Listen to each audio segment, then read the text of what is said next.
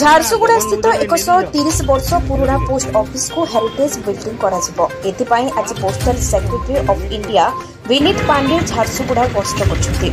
ସେ ଆଜି ଝାରସୁଗୁଡ଼ାର ଏହି ସର୍ବ ପୁରାତନ ପୋଷ୍ଟ ଅଫିସର ସ୍ଥିତି ଏବଂ ଅବସ୍ଥିତି ତଦାରଖ କରିଛନ୍ତି।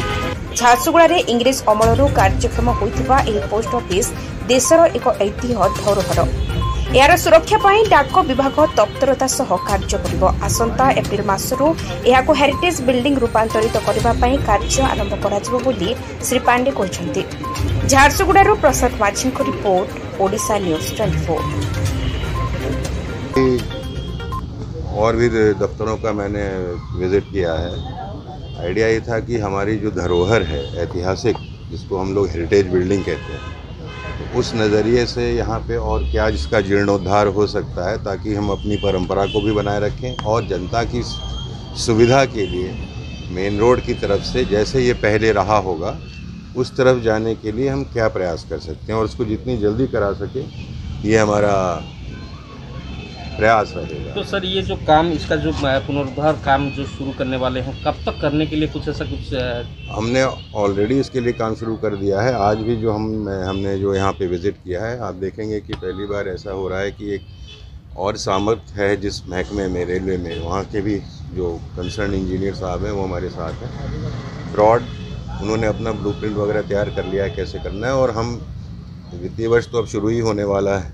एक अप्रैल से नया वाला। तो हम इसी में ही अपने सारे कार्रवाई शुरू करेंगे और जैसे जैसे जाएँगे कोशिश ये रहेगी क्योंकि ये इतना आसान काम नहीं है क्योंकि इसकी ओरिजिनलिटी जैसा भी हमने आज विज़िट के दौरान डिस्कस किया उसको मेंटेन रखते हुए आगे चलना है। तो इस तो कैसे निकल गया? बट हमारी तरफ़ से हमने आप ये समझ लो हमने काम हाथ में ले लिया। सर ये हेरिटेज बिल्डिंग को म्यूज़ियम की तरफ़ से जाएगा नहीं हेरिटेज है? हेरिटेज बिल्डिंग ये डिपार्टमेंट जो है इसके जितने भी पोस्ट ऑफ़िस पुराने हैं हमारी एक हेरिटेज बिल्डिंग की लिस्ट है।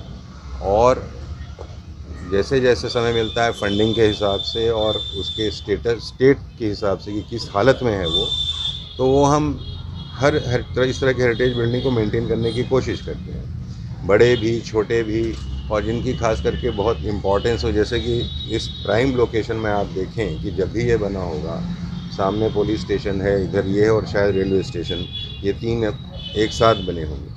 तो आने वाली जनरेशन का क्या ये ज़िम्मेदारी है कि जो एक धरोहर था हमारे पास, उसको, उस याद को, उस, उसी से निकल के आज इतना बड़ा बना है। और हमारे संदर्भ में यह पोस्ट ऑफ़िस के संदर्भ में, क्योंकि हम तो जनता के बिल्कुल करीब जुड़े हुए हैं तो जितनी अच्छी सेवा सुविधा हो सके उतना बढ़िया। सबसे बड़ा फ़र्क जो ये आया कि जैसे अभी आपने देखा कि उधर से हमें निकल के आना पड़ता है अपनी नई बिल्डिंग में, और इसका जब हो जाएगा तो हो सकता है सामने मेन रोड से ही खुली जगह मिल जाएगी पार्किंग की सुविधा मिल जाएगी। साथ ही जो इन्वामेंट का यहाँ पे और कुछ काम किया जा सकता है ग्रीनरी का कुछ किया जा सकता है, वो सब भी हम सोचें धन्यवाद। Thank you sir